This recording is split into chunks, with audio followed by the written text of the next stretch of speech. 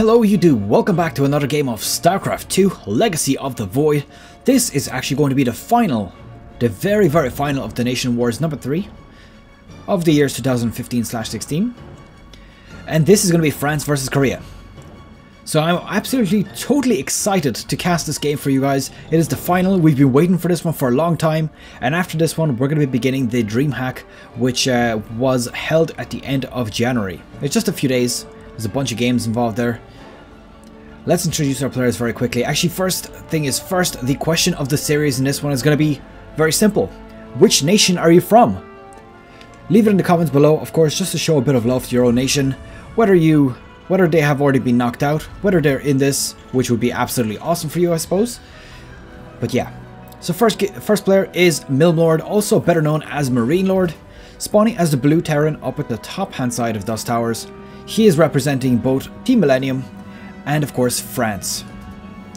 His opponent, Root Hydra, who is also starting off with a hatchery first, is spawning as the Red Zerg and he's representing both Root Gaming and Korea.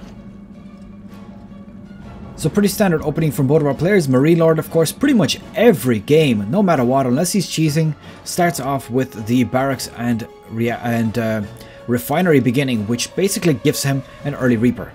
He does this every single game, no exception, of course, unless he is cheesing. And looks like he's going straight for his expansion straight after that.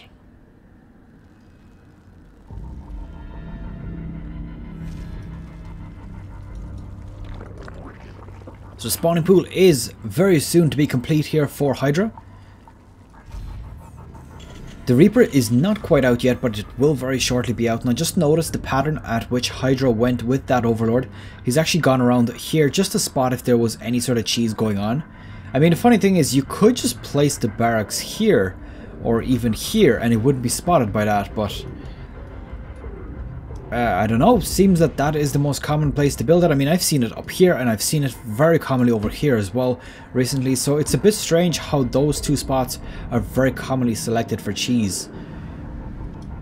Looks like there is just four Zerglings out on the field. These are just kind of, you know, don't get too close to us because we're going to wreck you.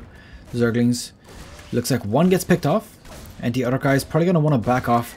Two of them already getting picked off here. Now this Reaper doing so well, taking out four Zerglings already. That's the first four Zerglings from Hydra, so already paying off for itself. Despite the fact that, you know, he hasn't actually killed any drones, I think that the fact that he starts off like this anyway is actually making this Reaper alone worth it. Now this is going to be standardized very quickly as well. He is going for the, the medevac drop with one Widowmine and six Marines. The timing for that is going just about perfect. Now just a bit of timing to note, a very, very perfect timing for the uh, medevac to be showing up on your opponent's base is about 4 to 4.5 minutes. At that point is when you can expect these drops to go down. We're going to see how long this one takes for him. It is probably going to be about 4 minutes 15 if he loads it up and goes straight into the base. So 4.15 to 4.30 is quite a standard time. It looks like we have an early Lair coming out as well. Roach Warren is about to complete also, so that is a very good choice for him, I have to say. And I wonder if he's... Is Hydra going to go for some sort of timing push here? Because realistically... Yeah, look at all those roaches that he's creating right now. Four roaches in the making. He's still droning pretty hard. I mean, look at... he's He is indeed getting drones continuously while also getting roaches. There is that drop. 408 is when it was leaving the base, getting spotted by an overlord already. And it's going to be about 4 minutes 30 that is going to make it into the base. Now the flight distance is a little bit longer in this map, despite the fact that it's it's a two-player map. But 4 minutes 30 is exactly when he's showing up. Look at that. 4 minutes 30 on the dot. Oh, he's going to have to lift these units off and move on away from here. He definitely does not want to get caught by all those. Looks like there is a Liberator coming out here for Marine Lord. And he's actually building up a second expansion. Now this is peculiar, look at that. So there's actually a Spire coming down here as well. Four gases have been put down. So I believe, if I remember right, four gases will leave you with about 700 to 800 gas when the Spire pops. So let's see what he's going to end up with.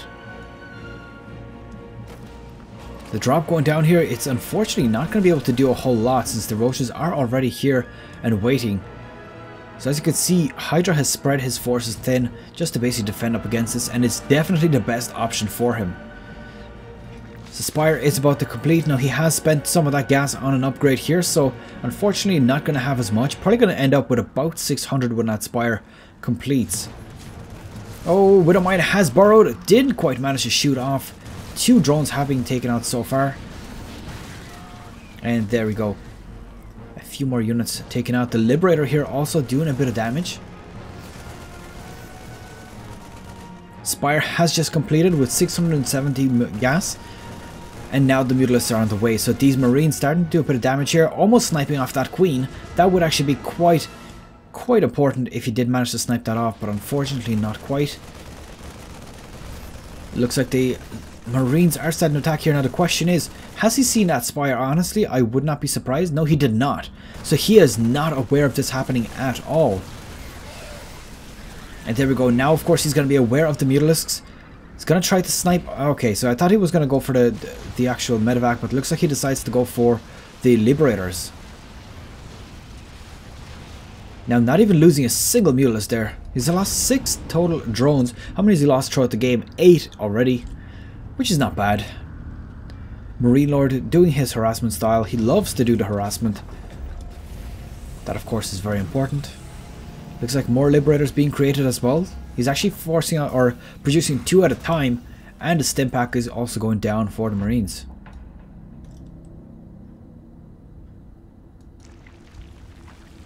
Now 1-1 Carapace and ranged attacks for ground units is on the way for Hydra as well, so definitely taking up a bunch of roaches also being created. And he's building up his ground forces right now. Now army supply is just barely just barely uh, favoring Marine Lord. But that's probably because of the few siege tanks that he's got in his base. Worker supply is very, very even. Just about the perfect round, uh, amount, which is between 60 and 70. Depends really on the player. Some people like to go up to 70, some people don't.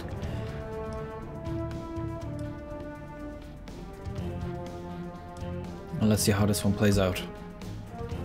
And just to point out about worker supply. If you count in how many workers you've got, it's 16 plus 3 plus 3, which is 22, which means the perfect supply amount for workers on resources is 66 excluding any ones that you're using to build or uh, scout or whatever. It's 66.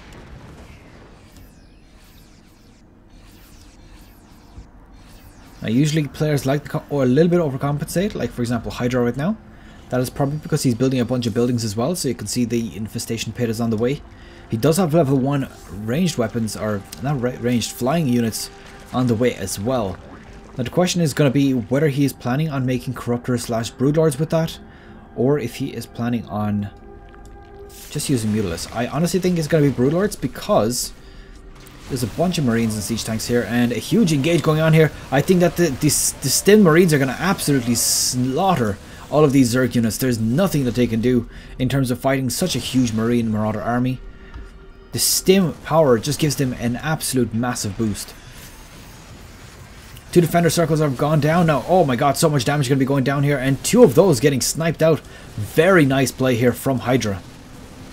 Now Stim Marines running straight into that base. They're dodging all of those corrosive biles, which of course is perfect. And at this point, looks like Marine Lord going to be aware of that expansion. Of course, the reinforcements was coming from there.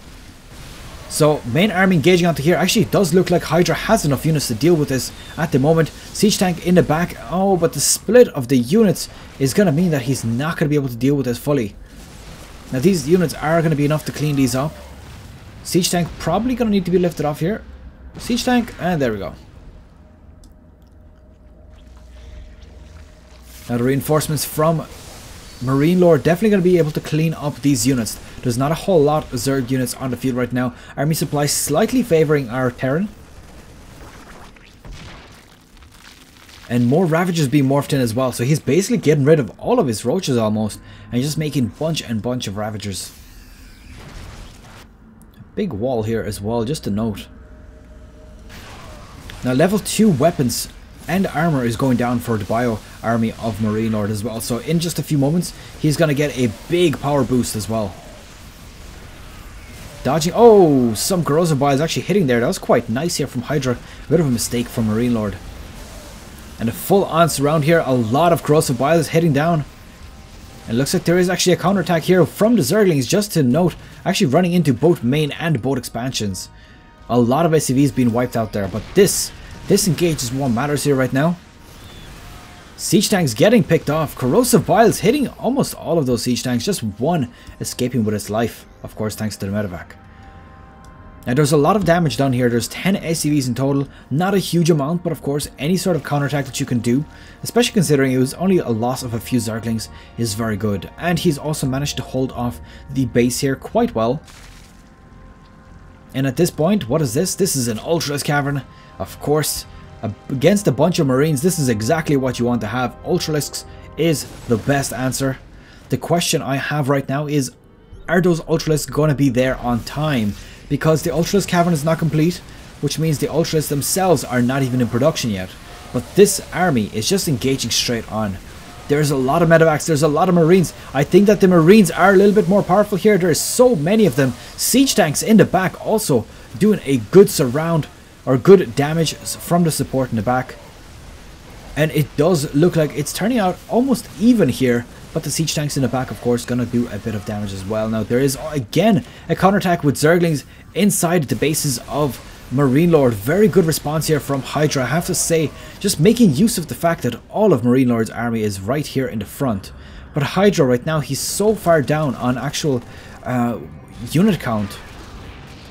And these siege tanks, Getting picked off with a few Zerglings, very well played, managing to respond to that just on time, and there we go. Ultras now on the way, there's 5 Ultras on the map. Of course, level 3 Carapace and Chitinous Plating is also on the way. He needs to get those up before engaging onto this army. If he gets that done, he will be absolutely in a position to tear through this army. Nothing that these Marines and Marauders will be able to do will be able to counter off a bunch of Ultralisks fully upgraded. Now they're already moving in, but unfortunately it's not good upgrades, not enough. He's missing 3 armor, which means that they are getting hit quite hard, despite the fact that they are Ultralisks indeed. Oh, I think that this was a little bit too early. I think it would have been better to sacrifice this expansion and just let the Marines die later on. Oh, and GG has been called. So Hydra I think the one biggest mistake that was made here is basically engaging with all those Ultras before his level 3 Carapace and uh, chitinous plating was done. I think that was the one, very one nail in the coffin. And that's it for the first game. I hope you have enjoyed it. Of course, leave it a thumbs up and subscribe if you want to see more. Uh, Korea versus France. France takes the first game with Marine Lord taking that point. Now, of course, our question of the series still remains the same. Which nation are you from? Just show a bit of support down in the comment section below. Uh, if I had to choose my own nation, I wouldn't even know. I live in Ireland and uh, I'm technically Latvian and I also speak Russian. Who do I vote for? Who the hell knows? Uh, my favorite teams would probably have to be Poland slash uh, Ukraine. They have some of my favorite players in them, so I suppose that's who I would be supporting. But obviously, not really from there. So that's pretty much it. Hope you've enjoyed this, guys. Good luck. Take care. I'll see you guys in game number two. See you guys next time.